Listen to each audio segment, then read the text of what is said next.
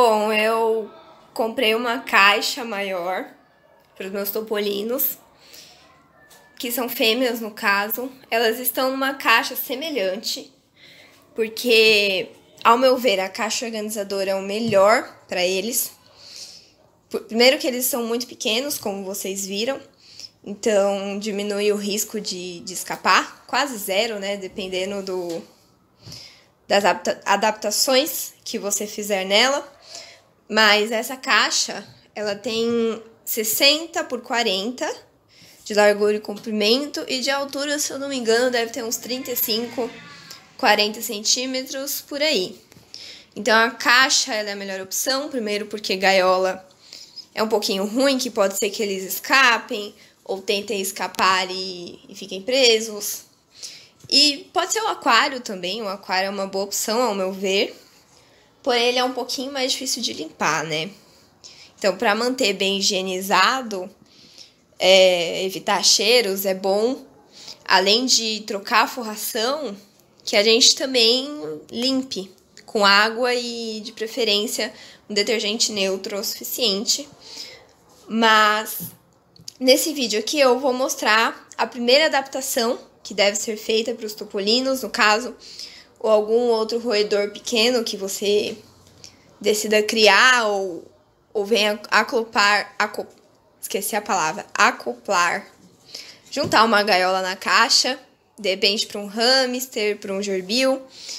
É, mas nesse caso eu vou mostrar como fazer com a tampa, já que os animais precisam respirar, obviamente, né? Que precisa ter a circulação de ar.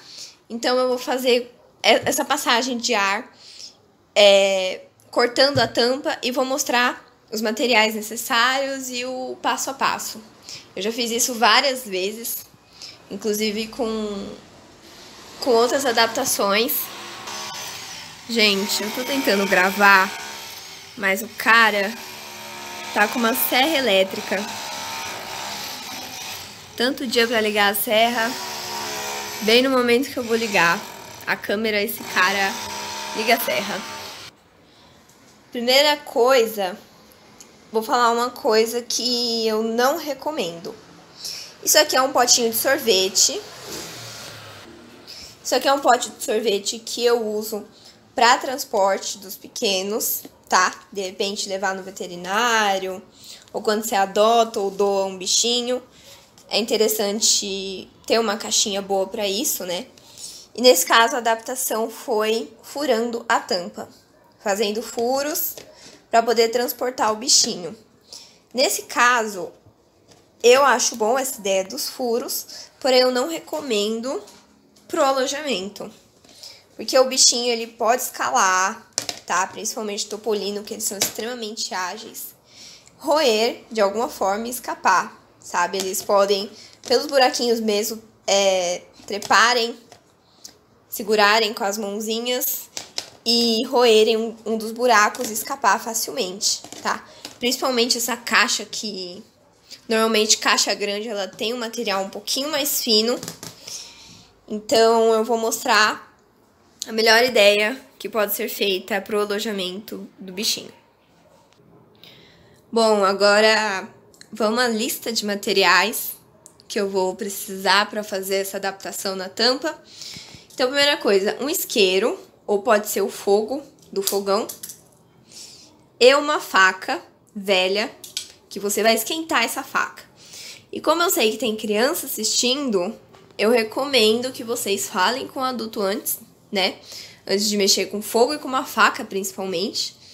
É, avisa que você vai fazer essa adaptação e de repente até pede ajuda, dependendo da sua idade, tá? Mas por favor, não façam isso sozinhos, segundo material são essas fitas de lacrar, tá? Tem vários nomes.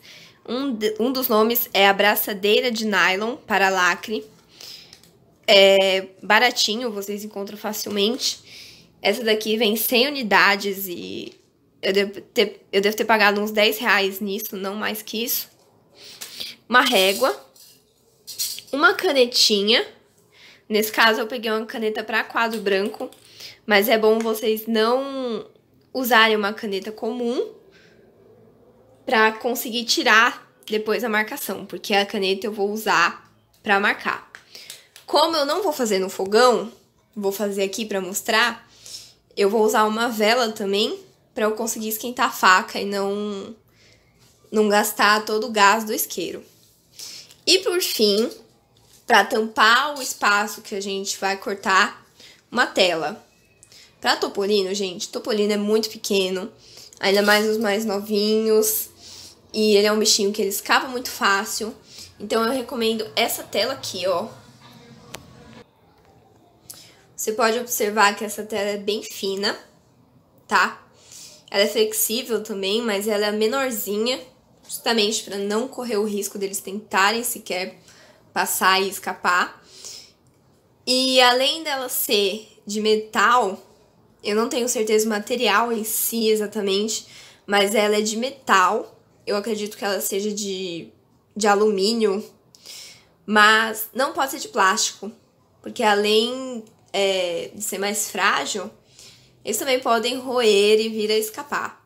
Então, esses são os materiais que eu vou estar utilizando para fazer essa primeira adaptação ali na nossa linda caixa organizadora. Bom, essa caixona, eu sei que, que talvez tenha alguém perguntando o preço, ela custou 80 reais, tá? Não é um preço tão barato assim, mas parar pra pensar, você vai comprar uma vez só. É uma coisa durável, uma coisa que não estraga com o tempo, tá? Se você tomar um cuidado para não um cuidado bem basiquinho para não rachar o plástico, tá? Por mais que seja um material resistente, pode ser que ele rache, mas enfim, é, vale bastante o preço, porque foi o que eu falei, ele vai durar e vocês vão encontrar mais ou menos nessa faixa, entre 80 a 120 reais, dependendo do local, da sua cidade. E essa daqui, se eu não me engano, foi na Leroy Merlin. Não, não foi na Leroy Merlin. Foi na Calunga que eu comprei. Então, de repente, vocês encontram mais barato, mas fica a dica aí. E essa é a maior caixa que tinha. Ela tem 60 por 40, como eu já disse. Então, aqui a primeira coisa que faremos pegar nossa régua e uma caneta e vamos fazer a marcação do corte. É, não vamos fazer um corte muito pequeno, tá? Tem gente que já corta a caixa inteira, que recorta a caixa e coloca a tela em tudo. Porém, eu prefiro não fazer tão grande assim, mas também não deixa tão pequeno. Então, eu acredito que eu vou fazer mais ou menos 15 por 15 e qualquer coisa eu aumento mais um pouquinho, ou então 20 por 20.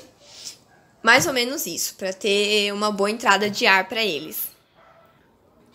Bom, eu coloquei a mão aqui embaixo para ficar mais fácil de visualizar a marcação que eu fiz. Ficou um retângulo de um tamanho bom.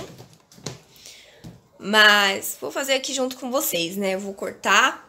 Se eu achar que ficou muito pequeno, eu aumento esse, esse corte que eu fiz na caixa, mas o primeiro passo tá aí. Fazer a marcação e de preferência mede, tá? Mede onde vocês vão cortar pra ficar um corte mais bonito, né? Por questão estética mesmo. Bom, o próximo passo já é cortar mesmo. Como eu falei, tem como fazer no fogão, esquentando a faca no fogão, que acredito que vai ser mais rápido que na vela. Mas a vela tem como. Então eu vou acender a vela e iniciar o corte. Bom, eu peguei um caderno velho aqui para eu colocar a vela em cima do caderno.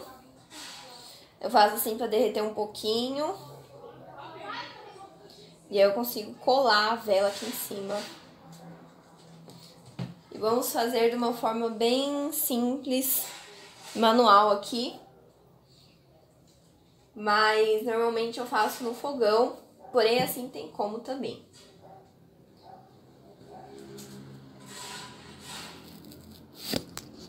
Minha câmera. Ó, depois de esquentar um pouquinho a faca, só começar o corte. Eu gosto de fazendo furos. Depois eu só destaco. Já deu uma esfriada. Ó. Enfim. Eu vou terminar de cortar aqui, acho que eu vou levar pro fogão mesmo para ficar mais fácil, para esquentar mais rápido e eu finalizar. E já venho mostrar o resultado dessa parte. Ó, vou mostrar uma outra coisa que aconteceu aqui também, que a faca nesse lado estava bem quente, tá? No começo. E aqui, eu fui tentar colocar a faca quando ela não estava tão quente. E deu uma rachadura, ó. Então, uma outra dica é esperar a faca ficar bem quente para conseguir deslizar com uma maior facilidade. E olha só, terminei aqui alguns minutos depois e ficou aproximadamente o tamanho que eu havia comentado, com mais ou menos 20 por 22 centímetros. E eu acredito que desse tamanho seja o suficiente em comparação às proporções dessa caixa. E vamos para o próximo passo.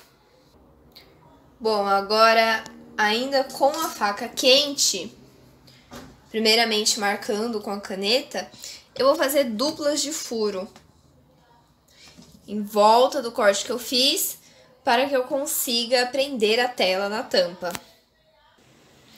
Pronto, gente, agora que já está cortado, os furos foram feitos, próximo passo é cortar a tela e fixar ela com os lacres, tá? Usando os furinhos, eu vou entrelaçar é, o lacre nos furinhos e passar pela tela, deixando ela bem presa. Então é isso, gente. Esse aqui foi o resultado final. Eu acho que que dá pra ver a tela, né? Deve estar tá brilhando aí. Eu prendi ela com, se eu não me engano, tem 12 lacres aqui pra ela ficar bem presinha. E é o que eu falei, a caixa é bem mais prática, é leve, fácil de limpar. Eu recomendo que vocês procurem uma bem grandona. O que eu acho é que a maior é essa, 60 por 40. Mas caso você consiga uma maior ainda, é ainda melhor para os seus animais, né? Para garantir o bem-estar e o conforto deles, para eles terem um espaço bom. E agora eu vou colocar as ratinhas aqui dentro para vocês terem uma noção de tamanho. Olha só, gente. Nessa caixa tem duas fêmeas